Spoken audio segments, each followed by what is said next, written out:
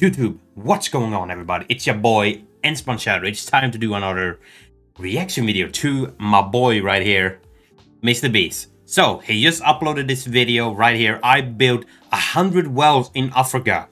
As you're seeing this video right now, it's some hours uh, later where I uploaded this. So, if you guys are excited for this video as always, just hit the like button, subscribe if you're brand new, and hit the little bell. There'll be a link down below to Mr. Beast's uh, video right here. So go and check him out and I'm very excited for this. Mr. Beast is an amazing person in my opinion. I really like watching a lot of his videos and challenges.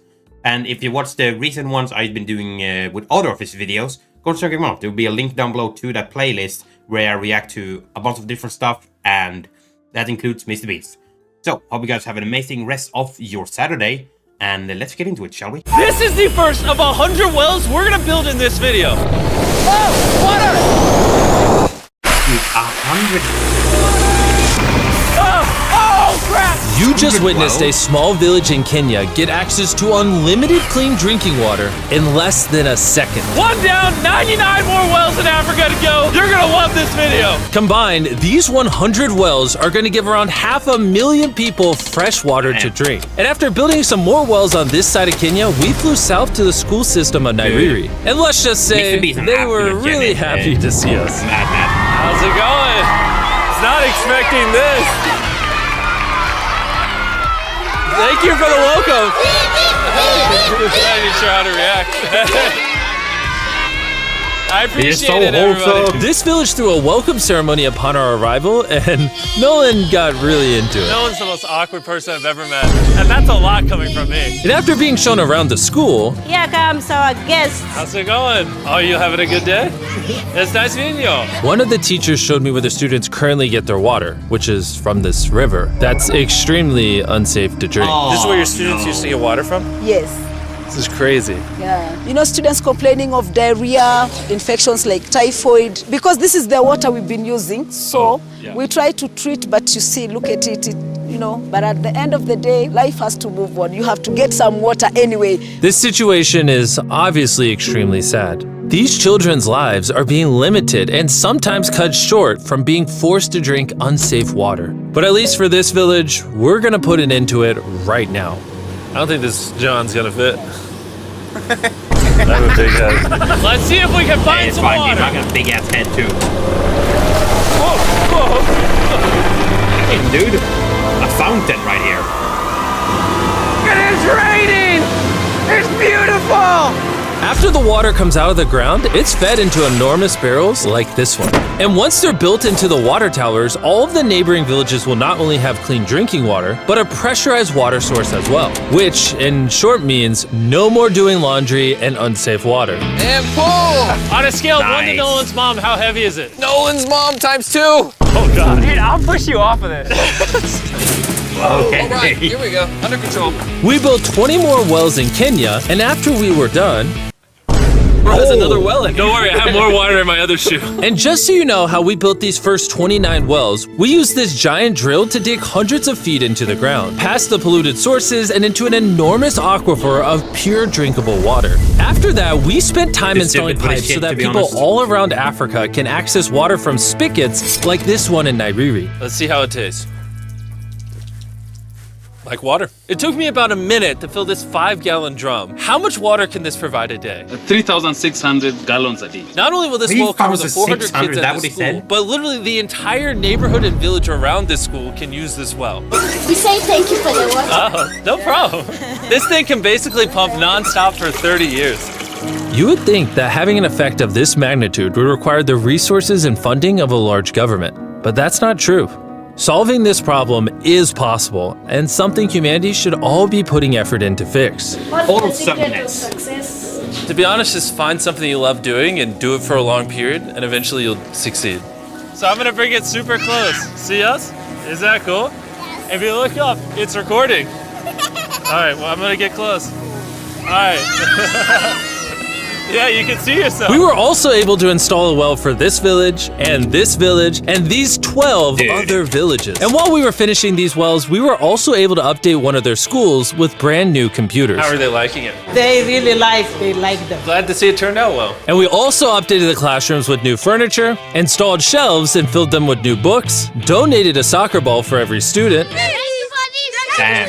And even put modern whiteboards and projectors in all the classrooms. Do you guys like the projector? Yes. we were using a chalk and then a lot of dust, but today everything is clean. We truly appreciate. No problem. It's the least we could do. But then when we flew out to the site of the 45th well, we realized this community had it even harder. Every time they need to get water, they need to take a treacherous mile-long hike through the jungle. mile and that mile-long hike also happens to be on a giant mountain. I wake up Oh. early, about 4 o'clock, so that I can fetch water for the school. we are not safe fetching water here. That place is very slippery. Chances of getting an injury is, is very oh. high. So while we worked on their well, the community took me to see how they currently source their water. you guys would have to make this trip how many times a day? Two times. Two times a day. Oh, wow. So a typical student would carry something like this? Yeah, Oh, God. If 200 students did this every day, how hard could it be? it could be very hard. Oh, oh boy.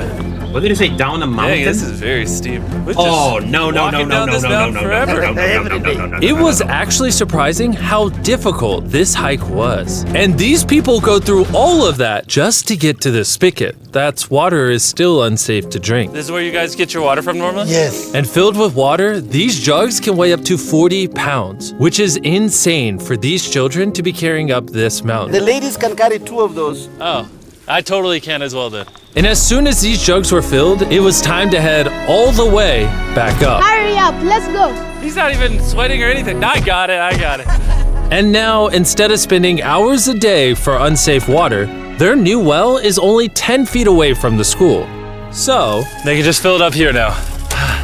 I'm too tired. and so we were on our way to the next village where we built our 46 well, but we ran into a little problem. We found out that hmm? this village is divided in half by this huge, dangerous river. It may not look like much now, but when the rainy season comes, the water comes up this high and literally swallows this bridge. And why this bridge is such a big deal is the village is over there, the hospital and schools are over there, so they're crossing this bridge multiple times a day. Despite how dangerous this bridge is, it's their only option. This river, when it is swollen, it can sweep away people, students, or even Oh. animals. In the recent past, we have lost about three people trying to cross this river. This loss of life is insane and absolutely unacceptable. The moment we heard about this, we knew we had to help. So while we started work on a new bridge that would let them reach their well, we then traveled over 2,000 miles from Kenya to the country of Zimbabwe. We've been in Africa for over a week, and we still have a lot more wells to do. You kind of smell. I know it's weird. I showered this morning. Wow. Yeah. Can I- if you let me finish, I can put my arms down. Can I count on you two to finish these wells with me? Yes, yes, yes, yes. First on the agenda was to check out a local hospital that was in dire need of clean water. Upon entering, we learned how big of an impact this clinic had on the village. How many kids do you guys give birth to a year here? In a month, about 15. So do 600 births a year? wow. But unfortunately, the pregnant mothers at this clinic have to walk over a mile just to get water, and then carry these heavy buckets all the way back. However, the good news is we paid for the construction of a new modern well for them. All that needed to be done now was to turn it on. All right, Nolan, are you ready? I'm ready. Over. Let me get a dramatic zoom in. Nolan, I pressed the button. Is it working?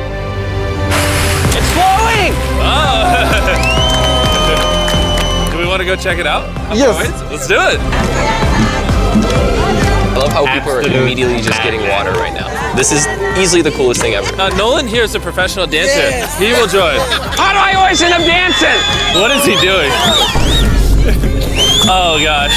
All right, I, I won't make you watch this anymore. Besides ensuring access to clean water, a lot of the students at this village lack transportation. So we decided to give all of them new bicycles. Like a lot of kids, but we bought a lot of bikes. Full disclosure, I don't know how to ride a bike. Jimmy only knows how to give away bikes. Never learned how to ride one. Let's break in all the Oh, new God. bicycles. Three, two, one, go! Oh, me. you're gonna- everyone's passing me. Be careful, I don't know how to ride a bike. I don't want to hit anyone.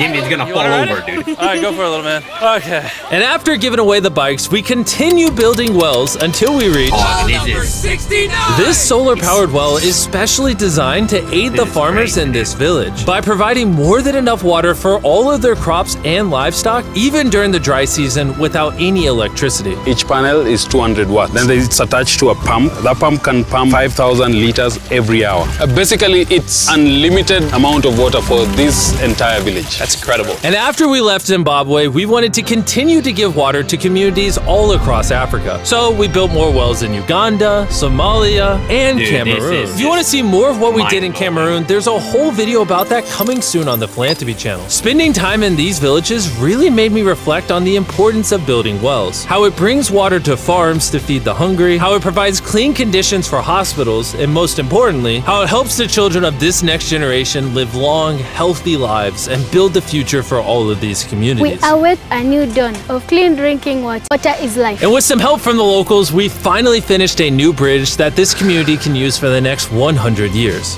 100. Lives yeah, have been saved, families will come together, the worries will be gone. The 100 wells we built in this video will change a lot of lives, but not enough. Which is why before you go, I want to urge you all to go to beastphilanthropy.org slash wells or click the link in the description and donate money if possible. We're literally not profiting a dime off this video. 100% of the money we raise is going to go towards building more wells like you saw in this video all around the globe. I know it's weird that a YouTuber has to do all this stuff, but someone's got to do it. And if no one else is, we're going to do it. As you can tell, it really does change the lives of the communities where we build them. And finally, well 100.